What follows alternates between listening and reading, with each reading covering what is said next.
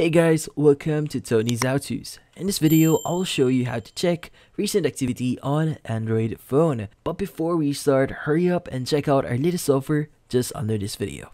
So let's get started. So if you might be wondering how do you check your recent activity on your Android phone?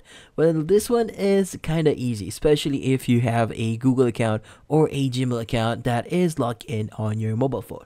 Now in this case, what we need to do first is we need to look for any mobile applications that is connected to Google. Now in this case, let's go ahead and open up the Google application here. And from here, click on the profile icon that you see at the top right. And from here, click on manage your Google account. Now from here, what we need to do next is we need to go to data and privacy. And from here, just scroll down a bit. Now from here, we should be able to see the section for history settings. Now in this case, you'll be able to see like web and app activity, location history, as well as YouTube history.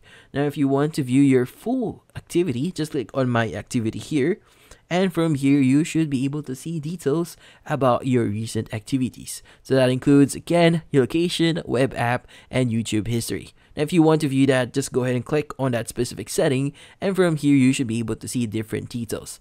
Now from here, you can also change a few settings as well. And that's about it. So if you found this video helpful, hit the like and subscribe button and watch our next video.